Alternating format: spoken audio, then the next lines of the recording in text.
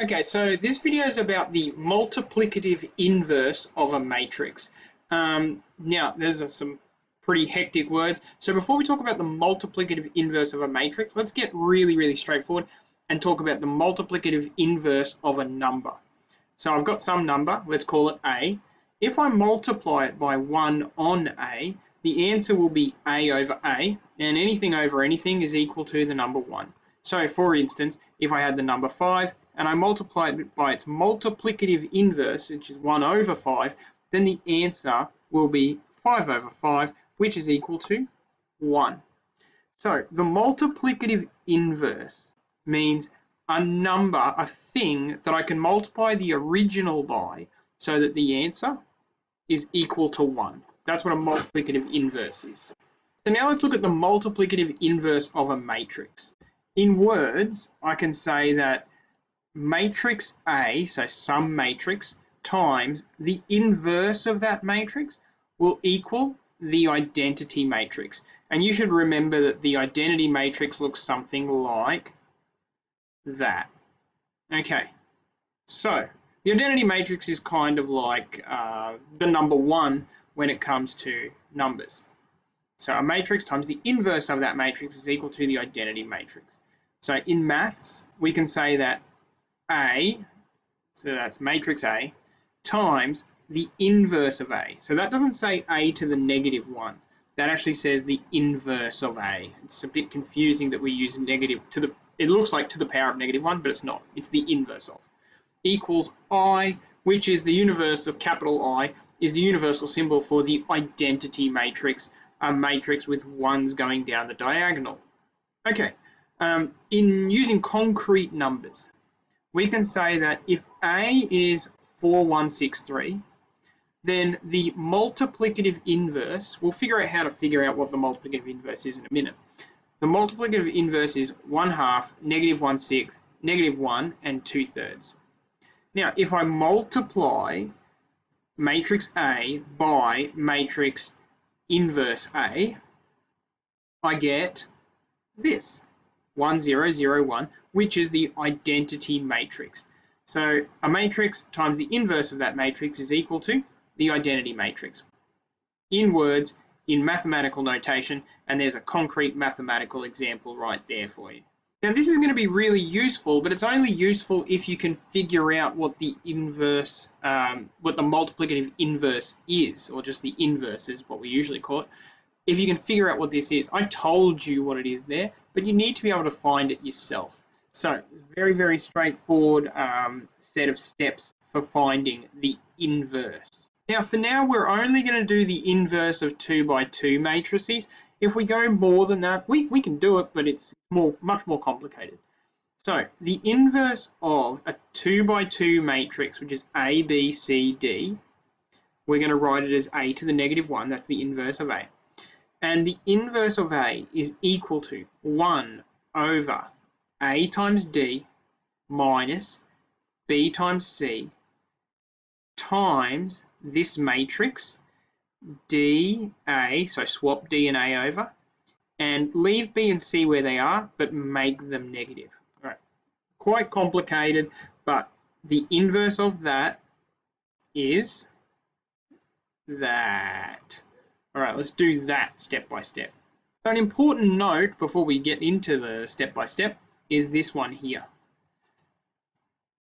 AD minus BC, which is this value here, is known as the determinant of matrix A.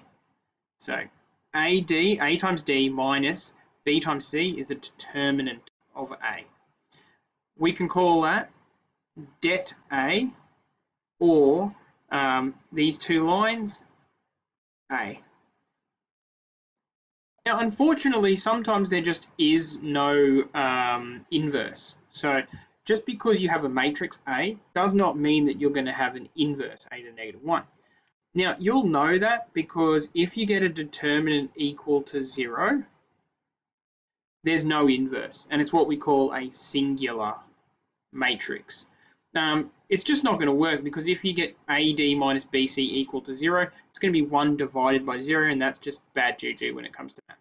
All right, so here's our handy step-by-step -step guide to getting the inverse.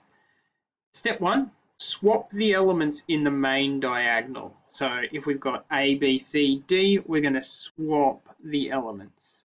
So A, B, C, D, we're going to swap those elements and what we get now is D, A, B, C. Okay, so there's step one. Multiply the elements in the other diagonal by negative 1. All right, so this is now going to become, so that B is going to become negative B, and that C is going to become negative C. And that D and that A will stay where I put them in step 1. Okay. Now, find the determinant AD minus BC. All right, so um, to do this bit from the original A. So we need to go back up to the top and find out what AD time, um, A times D minus B times C is. And then we put it all together into this calculation here.